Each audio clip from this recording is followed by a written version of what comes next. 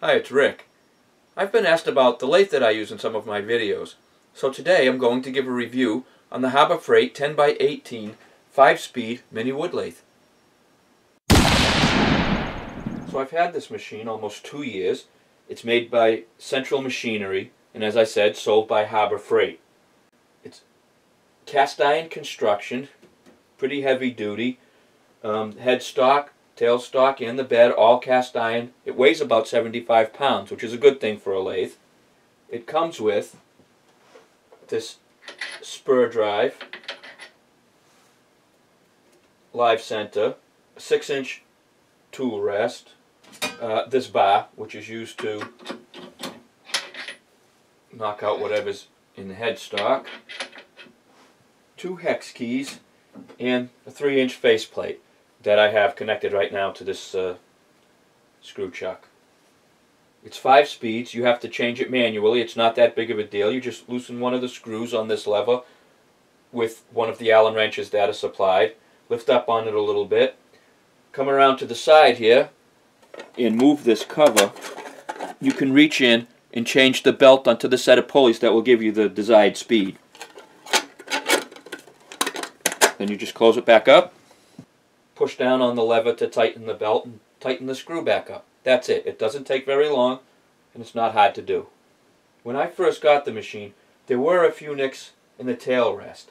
Um, all I had to do really was run a file over it a few times and I rubbed it down with some wax and it's, it's been fine ever since. The other thing was that this tailstock has a little bit of play in it. Now I've learned that I can just, if I just push it in the front and tighten it down, it lines up perfectly.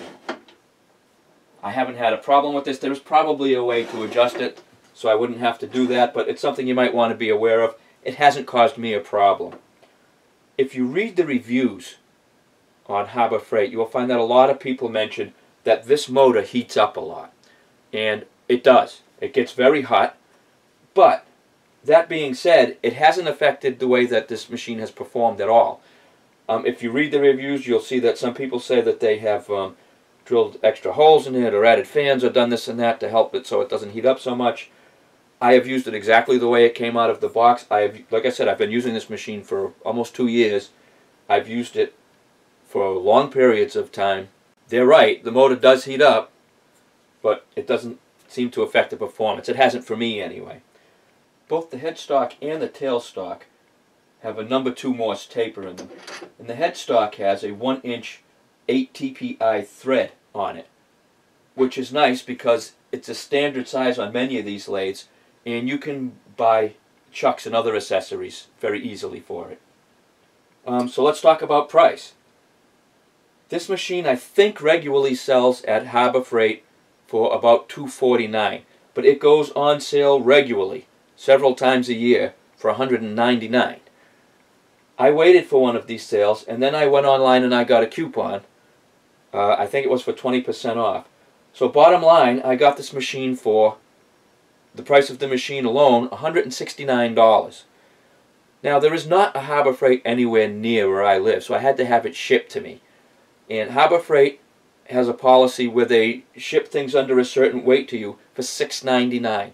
So I had this shipped to my door, brand new, from Harbor Freight, the entire cost, including shipping, was only about $176.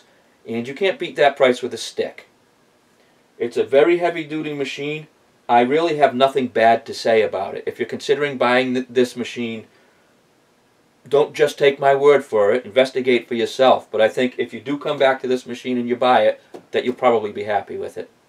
So I hope this review helped you. It's a solid machine and I've never regretted buying it.